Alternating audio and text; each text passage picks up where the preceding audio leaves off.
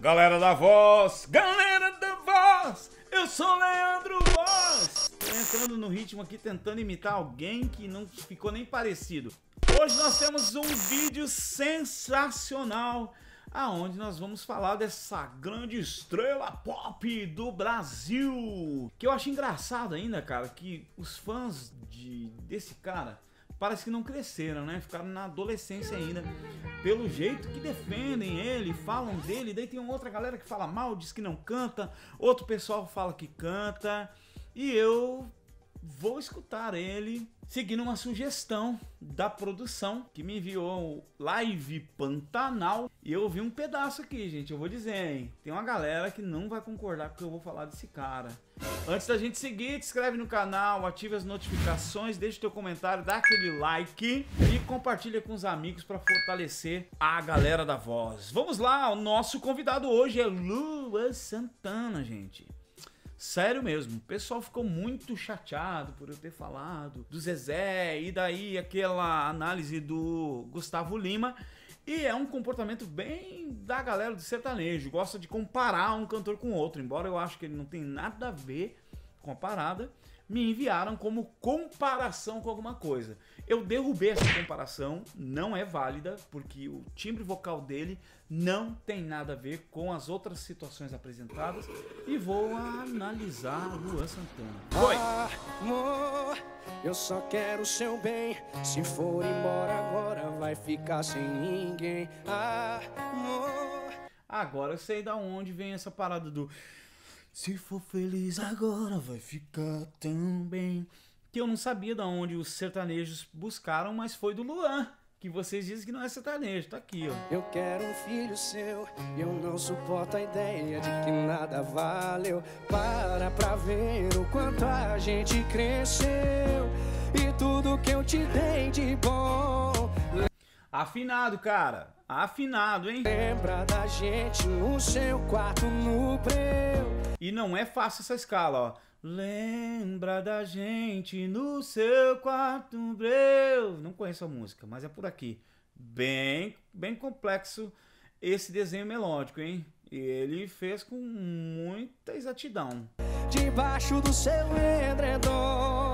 Debaixo do seu edredom. Vocês sabem o que é desenho melódico, né, gente? Desenho melódico são essas melodias. Quando você extrai a letra, você ficaria com lá, lá, lá, lá, lá, lá, lá, lá. Se você desconcentra um pouco da letra e se liga na melodia, no desenho melódico, aí você entende. Debaixo do seu edredom,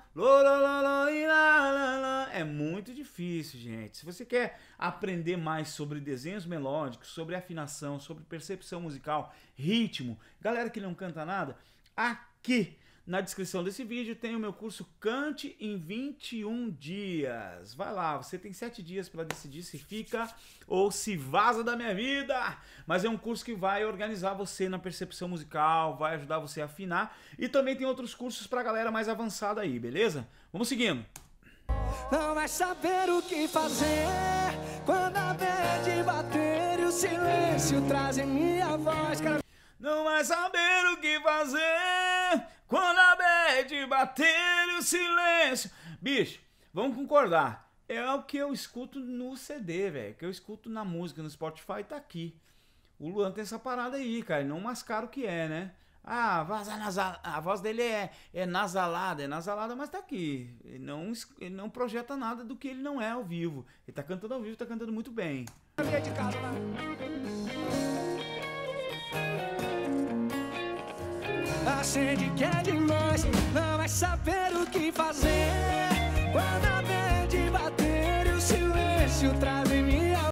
Sensacional, cara. Pô.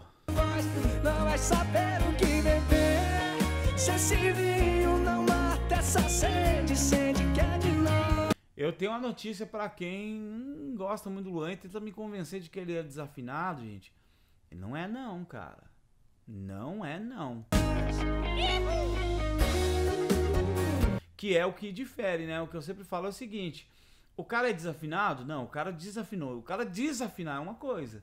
Eu pegar um dia do cara desafinando é uma coisa. Agora, Cara, o cara desafinado é os casos que eu mostro para vocês aí, que eu olho 30 lives, as 30 lives a galera tá desafinada. Ele não é desafinado não, cara. Esse cara tem muito mais qualidade do que vocês pensam.